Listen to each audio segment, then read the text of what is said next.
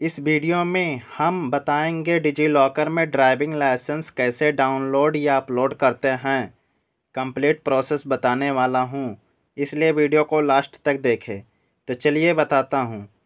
सबसे पहले play store से डिजीलॉकर ऐप को डाउनलोड कर लेना है और डिजीलॉकर का अकाउंट बना लेना है। अगर आपने अकाउंट पहले से बना रखा है तो बहुत अच्छा है। इसके आगे का प्रोसेस बताने वाला हूँ। अगर आपने अकाउंट नहीं बना रखा है तो इस वीडियो के डिस्क्रिप्शन बॉक्स में लिंक दे रखा हूँ। लिंक पर क्लिक करके वीडियो देख लीजिए। वीडियो देखने के बाद आप आसानी से डिजी लॉकर का अकाउंट बना पाएँगे। जब डिजी लॉकर का अकाउंट बन जाएगा तो कुछ इस तरह का इंटरफेस दिखाई देगा। उसके बाद यहाँ पर क्लिक करके सर्च करना है। Driving licence. जब आप ड्राइविंग लाइसेंस टाइप करेंगे तो नीचे सजेशन में ड्राइविंग लाइसेंस ऑल स्टेट देखने को मिलेगा। इस पर क्लिक कर लेना है।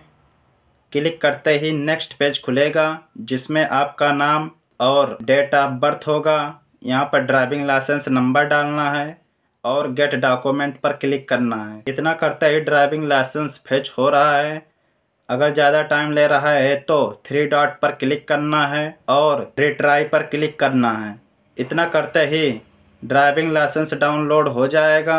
इस पर क्लिक करके ड्राइविंग लाइसेंस को देख सकते हैं। आपका पूरा डिटेल्स आ जाएगा। सो दोस्तों, इस तरह से आप ड्राइविंग लाइसेंस को डिजी लॉकर में डाउनलोड अपलोड कर सकते हैं।